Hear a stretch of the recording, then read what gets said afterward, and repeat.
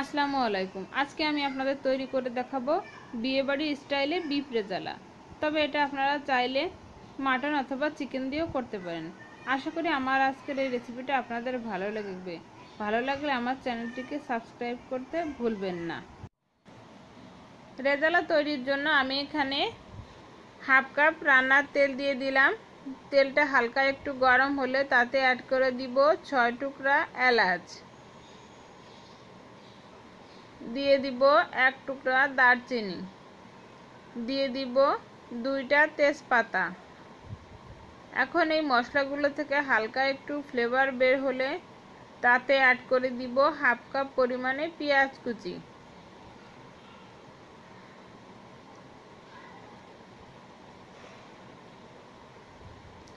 পেঁয়াজগুলাকে হালকা একটু ভেজে নিব।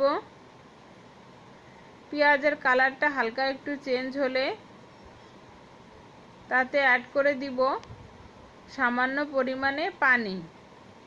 পানি দেওয়ার কারণ হচ্ছে আমি এখানে গুঁড়া মশলা ইউজ করব। পানি দেওয়ার কারণে মশলাটা পুড়ে যাবে না। দিয়ে দিলাম পরিমাণ মতো লবণ। দিয়ে দিব পরিমাণ মতো হলুদের গুঁড়া। দিয়ে দিব স্বাদ অনুযায়ী লাল মরিচের গুঁড়া।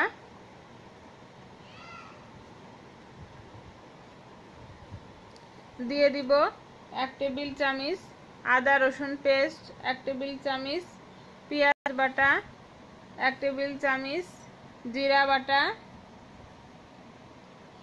সব মশলাগুলোকে আমি খুব ভালো করে কষিয়ে নিব যাতে করে মশলা থেকে কোনো কাঁচা গন্ধ বের না হয়। মশলাটাকে খুব ভালোভাবে কষিয়ে নিতে হবে।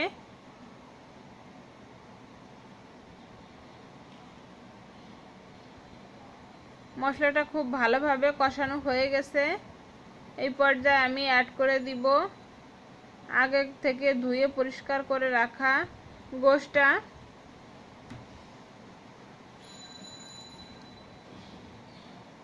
আমি এখানে এক কেজি গরুর গোশ নিয়ে নিয়েছি।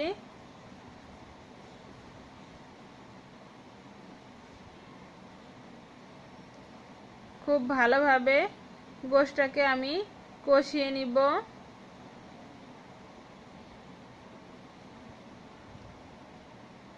গোশটা যত ভালো কষানো হবে, এটার স্বাদ তত বেশি ভালো হবে।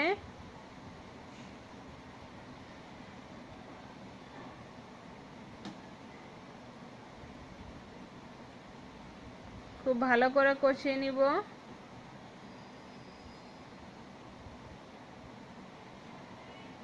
গোশটা আমার কষানো হয়ে গেছে। এখন এটাকে আমি ঢেকে কিছু সময় রান্না করব। দেখুন, লো জালে এটাকে আমি ঢেকে 10 মিনিট রান্না করে নিয়েছি। এটা থেকে পানি এরকম বের হয়েছে।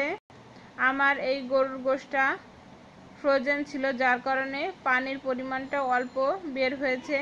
না হলে আপনাদের গোশটা যদি ফ্রেশ হয়, তাহলে এটাতে অনেক বেশি পানি বের হবে। সেই পানি দিয়ে আপনারা রান্না করতে পারবেন গোশটা সিদ্ধ করে নিতে পারবেন। দিয়ে দিলাম এক চা চামচ জয়ফল, জয়ত্রী বাটা।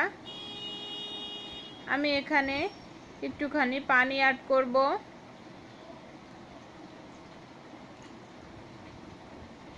যাতে করে গোশটা ভালোভাবে সিদ্ধ হয়।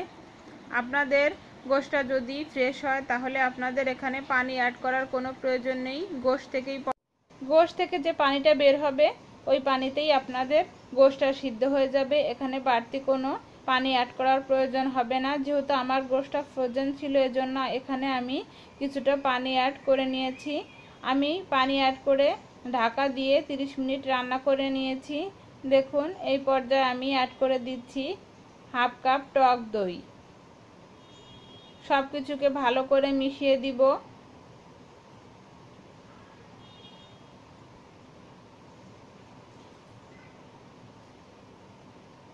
টক দইটা খুব ভালো করে মিক্স করে দিয়েছি।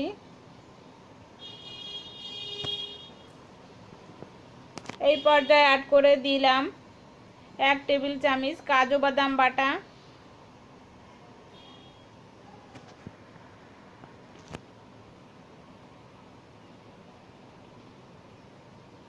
দিয়ে দিব এক কাপ পরিমাণে লিকুইড তরল দুধ।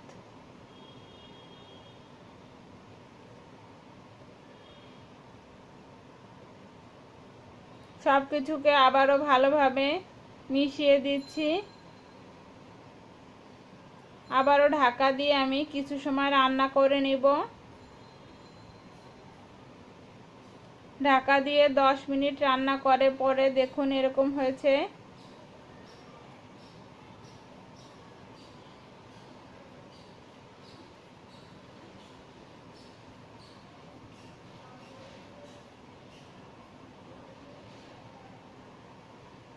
অ্যাড করে দিব পাঁচ, ছয়টা কাঁচামরিচ। কাঁচামরিচ এখানে ফ্লেভার বের হতে সাহায্য করবে। খুব ভালো একটা ফ্লেভার আসবে। কাঁচামরিচ থেকে দিয়ে দিলাম দুইটা আলু বোখারা। দিয়ে দিব দুই চা চামিচ। ঘি, ঘিটা আপনারা রান্নার শুরুতেই ইউজ করতে পারেন।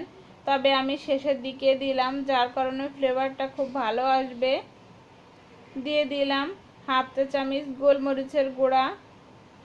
সব কিছুকে আবারও ভালো করে মিক্স করে দিচ্ছি। এখন আমি এগুলাকে ঢাকা দিয়ে কিছু সময় রান্না করে নিব।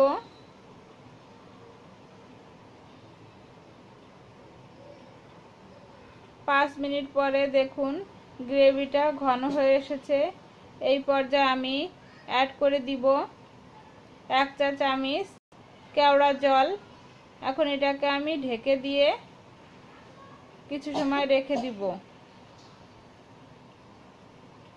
তৈরি হয়ে গেল আমার বিয়ে বাড়ির বিফ রেজালা রেসিপিটা ভালো লাগলে লাইক দিয়ে আমাকে উৎসাহিত করবেন। আজকের মতো এ পর্যন্ত।